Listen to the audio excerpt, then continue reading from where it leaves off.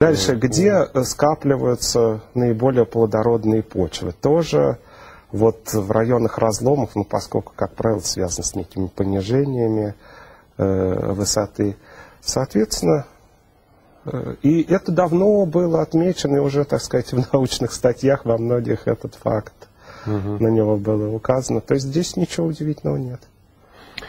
Средняя полоса России. Э, зона явно не повышенной сейсмической активности, верно ведь? Да. Но да, вот это слабоактивная зона. Слабоактивная зона. Но, тем не менее, землетрясение, произошедшее в 1977 году в Румынии, в Москве все-таки аукнулось. А какова вероятность, что землетрясение, которое произойдет на достаточном удалении от Москвы или от средней полосы, вызовет все-таки волну достаточную для разрушений серьезного рода?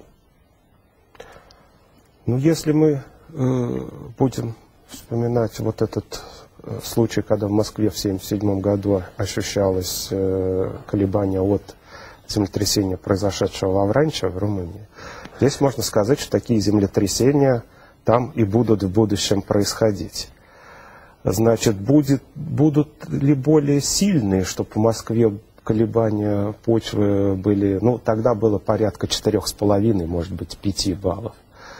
Вот здесь вряд ли следует ожидать, что там возникнут более сильные землетрясения. Дело в том, что ведь величина землетрясения в каком-то определенном месте определяется тем, а какие вообще упругие напряжения могут накопиться, чтобы вызвать подобные землетрясения. Это определяется структурой данного региона ну, э, там не следует ожидать более сильных землетрясений, чем вот то, что было, ну, существенно более сильного, чем то, что было в 1977 году. Ну, есть понятие уязвимости. Угу. И вот уязвимость Москвы, к сожалению, Повысилась. все время повышается. Москва стареет. Стареет и этажность растет. Этажность растет, ну, Москва стареет, коммуникации становятся, так сказать, угу. более уязвимыми и так далее, больше. и так далее. Ну и потом вы только что сами сказали о том, что память людей короткая. Увы. И даже если там произошли какие-то э, разрушения, может, даже существенные от землетрясения, то через одно поколение все будет забыто. Увы.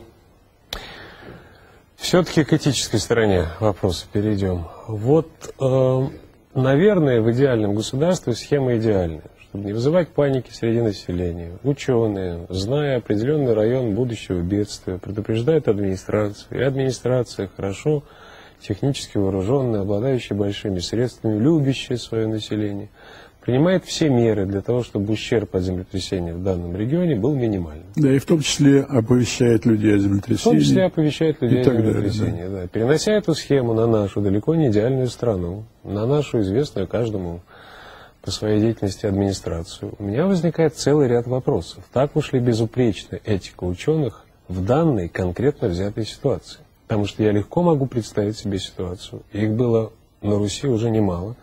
Начиная от Чернобыля, многие будут говорить, что это советские годы, но все-таки, да, заканчивая, э, может быть, какими-то недавними техногенными катастрофами, э, вымерзающим приморьем и так далее. Когда оповещенная администрация пальцем о палец не ударят для того, чтобы изменить ситуацию в лучшую сторону, а люди останутся неоповещенными. Вот в этой ситуации, как по-вашему, все-таки ученый должен выйти вперед, предупредив администрацию, выполнив свои этические ну, там, э, законы, да, выйти вперед и сказать, ребят, что же вы делаете? Предупредите людей. Пусть каждый решает, что ему делать в этой ситуации. Ну, это разговор с администрацией именно. Но ученый не должен выйти вперед и заявить, что будет землетрясение, и мол, спасайся кто может. А потом здесь же еще э, мы должны вернуться к тому, что есть прогноз. Угу.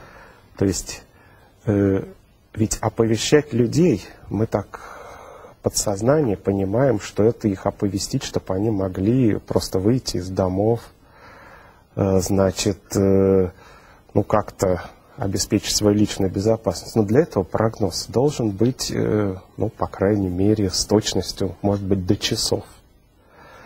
Сейчас, э, в общем-то, э, говорить о достоверных методах прогноза вот именно который дает прогноз с точностью до часов, еще рано. Хотя, в общем-то, в истории были примеры, когда вот действительно люди оповещались, и они вышли из домов, и произошло землетрясение, и люди не,